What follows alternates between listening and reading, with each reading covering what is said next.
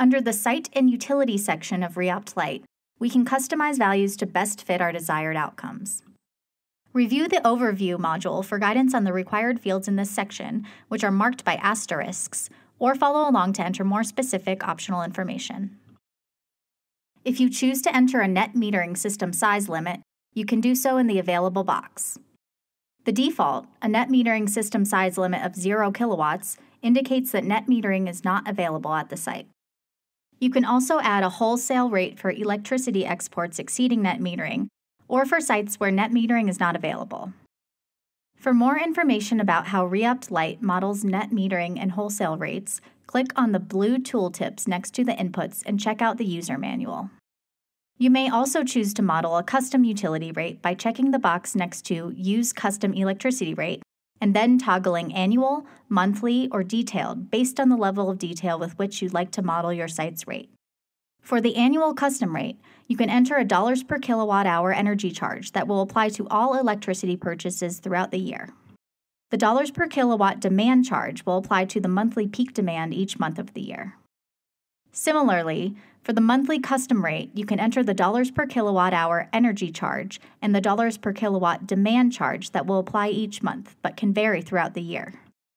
For a detailed custom rate, you must be logged into Reopt Lite, as custom rates are saved to your account.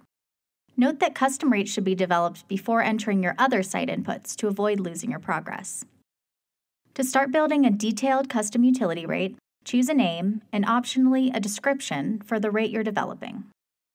If you'd like, you can start with and then modify an existing URDB rate by checking Edit an existing utilities rate entering the existing rate's location. This does not need to be the same location as your site. Selecting the electricity rate from the dropdown, and clicking Populate Form with Existing Rate. You can then view and modify the energy charges and demand charges as desired. For our purposes, let's start with a default custom rate. The energy and demand charge structures can incorporate time of use and tiered rate components. First, we'll look at the time of use component of energy charges. The weekday schedule shows a table of months and hours and identifies the period in which each weekday month hour falls. For example, in January through April and October through December, electricity purchases cost a flat dollars per kilowatt hour rate throughout all hours of the day, indicated by period 2. Looking at the corresponding table of charges, we see that electricity costs 8 cents per kilowatt hour during all hours of period 2. However, in May through September, the cost of electricity increases during the hours of 10 a.m. through 7 p.m. Note that the hour listed in the schedule indicates the hour starting at that time, so the last hour of this increased electricity charge starts at 6 p.m. and ends at 7 p.m. Now let's see what electricity costs during this midday period during the summer months. Looking at the table summarizing rates, we see there are two tiers in period 1. The first 100 kilowatt hours each month will be charged at the Period 1 Tier 1 rate of 10 cents per kilowatt hour.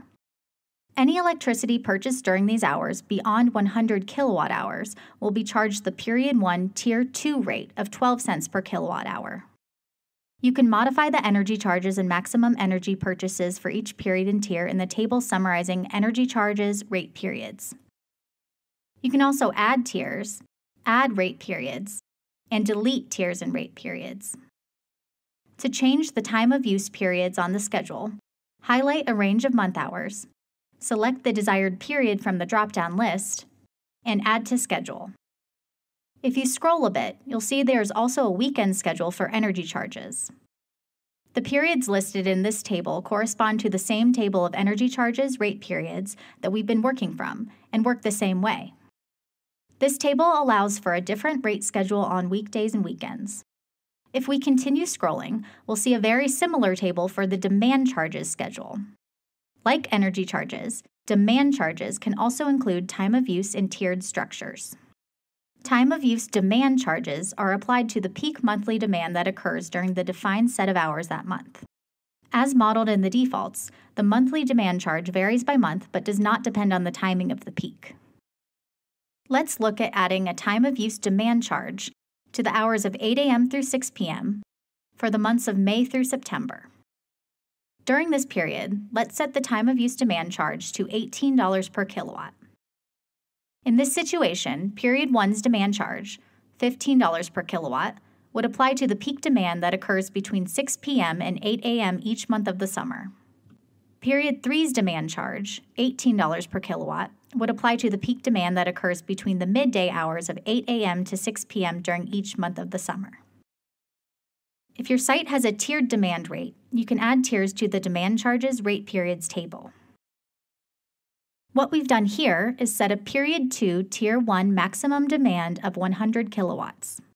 The first 100 kilowatts of peak demand will be charged at $12 per kilowatt, and any additional kilowatts of peak demand exceeding 100 kilowatts will be charged at $10 per kilowatt. So, if the peak demand for a winter month was 150 kilowatts, that month's demand charge would be 100 kilowatts multiplied by $12 per kilowatt, plus 50 kilowatts multiplied by $10 per kilowatt. As with the energy charges, demand charges can have a different weekend schedule than the weekday schedule. Once you've finished setting up your custom rate, click Create New Custom Rate. This saves the rate to your custom rate database. Now, if we go to the Reopt evaluation page, we can select our custom rate from the drop down list and proceed with our analysis.